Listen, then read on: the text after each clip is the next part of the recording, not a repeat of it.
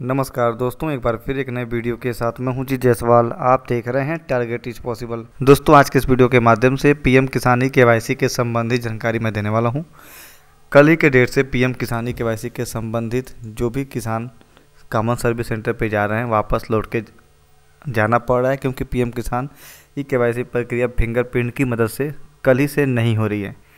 फ़िलहाल यह कार हमेशा के लिए बंद हो गया या फिर इसमें कुछ अपडेट चल रहे हैं, इसी के संबंध में पूरी इन्फॉर्मेशन आप लोगों को देने वाला हूँ। ऐसे यूज़र्स जिन्होंने अभी तक टारगेट इज़ पॉसिबल के इस यूट्यूब चैनल को सब्सक्राइब नहीं किया है, उनसे मेरी रिक्वेस्ट है कि इस चैनल को सब्सक्राइब कर लें, साथ ही साथ बेलैकन को ज़रूर दबाएँ। यहाँ पर देखेंगे, अगर आप P Kisan dot G O V dot in की आधिकारिक वेबसाइट पर पहले यहाँ पर ई के वाई सी प्रक्रिया यहीं से होती थी। बाद में सीएससी में फिंगरप्रिंट की मदद से भी जोड़ा गया, ताकि ऐसे किसान जिनके आधार कार्ड में मोबाइल नंबर न लिंक हो तो वे लोग फिंगरप्रिंट देकर किसी भी नज़दीकी कॉमन सर्विस सेंटर में पीएम किसान सम्मान निधि योजना के अंतर्गत ई के प्रक्रिया कंप्लीट करा सकते थे। लेकिन फ़िलहाल में कल ही के डेट से लगातार सी सी परेशान हो रहे हैं, लेकिन फिर भी फिंगरप्रिंट की मदद से ई के प्रक्रिया नहीं हो पा रही है। यहाँ पे कुछ समय पहले ओटीपी के माध्यम से जो के होती थी, उसे बंद कर दिया गया था, लेकिन इसे चालू कर दिया गया है। लेकिन जैसे ही आप लोग अपने सी डिजिटल सेवा पोर्टल के डैशबोर्ड में जाएँगे और पीएम किसान सर्विस पे क्लिक करके जैसे यहाँ पे क्लिक करेंगे तो यहाँ पे रहेंगे ऑटोमेटिक यहाँ से सारा का सारा लिंक गायब हो गया है। ना के के संबंधित, ना नए आवेदन के संबंधित या फिर संशोधन के संबंधित कोई भी यहाँ पे जानकारी नहीं आ रही है। तो यहाँ से यह ब्लैंक हो गया है।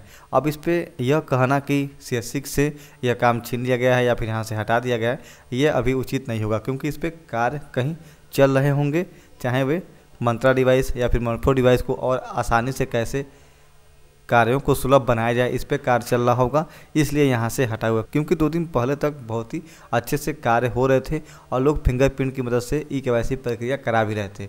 एक बैक अचानक से बंद हो जाना कुछ तकनीकी इधर भी हो सकता है और अगर पीएम किसान ई के प्रक्रिया सी से हमेशा के लिए हट जाती है तो उसके संबंधित ट्विटर के माध्यम से आपको नोटिफिकेशन भेजकर इन्फॉर्मेशन भी दिया जाएगा, चाहे वह मेल के माध्यम से हो या फिर डी मेल के माध्यम से या फिर एसएमएस के माध्यम से भी जानकारियाँ आपको अपडेट करा दी जाएँगी। लेकिन फ़िलहाल में इस पर काम चल रहा है, इसलिए यहाँ पे जानकारियाँ शो नहीं हो पा रही हैं। लेकिन यहाँ पे मैं आप लोगों को बता दूँ कि ऐसे किसान जिनके आधार कार्ड में मोबाइल नंबर लिंक है, वे लोग ई के प्रक्रिया पे यहाँ पे क्लिक करके आसानी से ई के करा सकते हैं। यहाँ पे आप लोगों को अपना आधार नंबर भरना होगा। आधार नंबर भरने के बाद सर्च पे क्लिक करना होगा। पे क्लिक करते ही यहाँ पे आपको अपना मोबाइल नंबर भरना होगा। मोबाइल नंबर भरने के बाद जैसे ही ओटीपी पे क्लिक करेंगे, आप मोबाइल नंबर पर वन टाइम पासवर्ड जाएगा, वन टाइम पासवर्ड इंटर करेंगे। फिर जैसे ही ओ टी विथ के पे क्लिक करेंगे आपके आधार कार्ड में जो रजिस्टर मोबाइल नंबर होगा, उस पर वन टाइम पासवर्ड जाएगा, उस वन टाइम पासवर्ड को वहाँ पर एंटर करना है।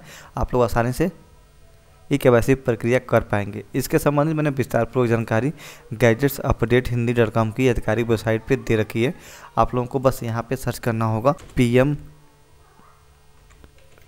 किसान ई के वाई सी। यहाँ इस पोस्ट के माध्यम से ओटीपी की मदद से इसके अलावा फिंगरप्रिंट की मदद से कैसे आप लोग के प्रक्रिया करेंगे, उसके संबंधित पूरी इन्फॉर्मेशन मैंने दे रखी है। और यहाँ पे देखेंगे, कुछ ही दिन पहले मैंने एक ग्राहक का किया तो यहाँ पे सफलतापूर्वक ई के प्रक्रिया ओटीपी की मदद से हो गई है।